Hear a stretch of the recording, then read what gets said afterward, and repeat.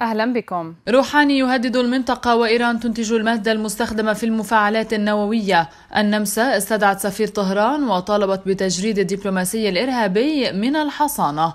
مطالبات لترامب بطرد أبناء قادة نظام الملالي من أمريكا. جنرال إيراني رفيع يتهم إسرائيل بسرقة الغيوم. طهران شرعت في إنتاج مادة UF 4 المستخدمة في المفاعلات النووية. الإمارات تجمد أرصدة تسع شخصيات وكيانات إيرانية على قائمة الإرهاب.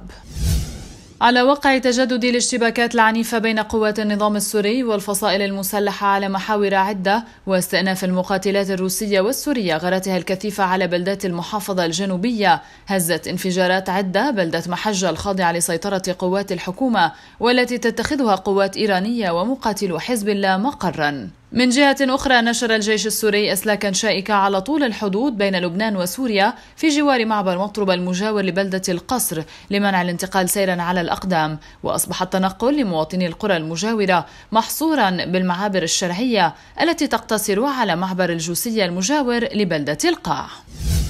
كثفت ميليشيات الحوثي الإيرانية من عمليات تفخيخ الأحياء السكنية في مدينة الحديدة بالتزامن مع ابتزاز الأهالي من خلال أطفالهم بهدف الزج بهم في أتون المعارك. وقال سكان في المدينة إن الحوثيين يقومون بتخزين الأسلحة المختلفة داخل المباني في الأحياء السكنية التي تقهقروا إليها مؤخرا بعد سلسلة هزائم أمام القوات المشتركة المدعومة من قوات التحالف العربي.